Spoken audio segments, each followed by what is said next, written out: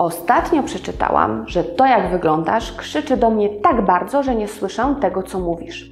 To jak wyglądasz, Twój wizerunek ma ogromne znaczenie, szczególnie na polu zawodowym.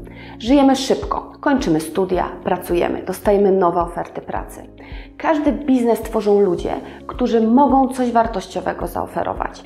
To oznacza, że każdy z nas ma swoją markę osobistą. Pamiętaj o tym, że swoim wyglądem możesz wzbudzić szacunek oraz pozytywne emocje. Jak to zrobić? Bardzo często pytacie mnie, jak się ubrać na rozmowę kwalifikacyjną albo co włożyć na obronę pracy dyplomowej. Wybierz dress code biznesowy formalny, czyli gładką koszulę lub bluzkę, nieprzezroczystą w stonowanym kolorze, spódnica lub spodnie lub też sukienka oraz marynarka spódnica i sukienka zakrywające kolana lub troszkę nad kolana. Jeśli chodzi o kolorystykę stroju, tutaj stawiamy na klasyczną czerń, szarość, beż, ciemny granat, ciemna zieleń lub bordo. Jeśli chodzi o rajstopy, to czarne lub beżowe. Szpilki zakrywające palce i pięty. Wysokość od 5 do 7 cm.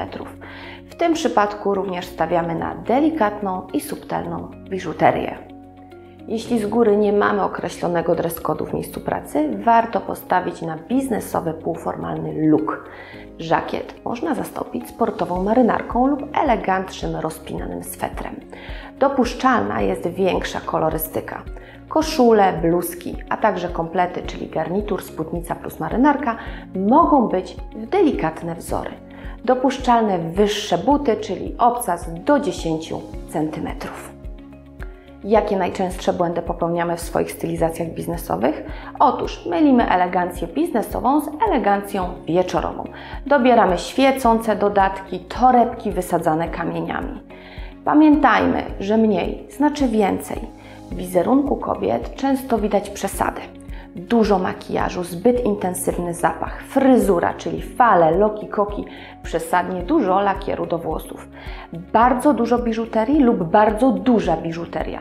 Pamiętajmy, że w pracy stawiamy na umiar, prostotę, stonowane kolory, delikatny makijaż oraz delikatną biżuterię. Kolejnym błędem jest zbyt wyzywający wizerunek w miejscu pracy. Duże dekolty, krótkie spódniczki, wysokie szpilki, widoczna bielizna to tak naprawdę rzeczy, które do pracy się nie nadają. Zostawmy je na randkę. Kolejny częsty błąd do pracy, jak do sklepu. Trampki, dziurawe dżinsy, topy do połowy brzucha, japonki, shorty to są stylizacje weekendowe, a nie biurowe. Polecam publikację Jak się ubrać do pracy biznesowy dress code dla kobiet pani Aleksandry Frontczak-Biś. Myślę, że to jest bardzo wartościowa pozycja w biblioteczce każdej kobiety.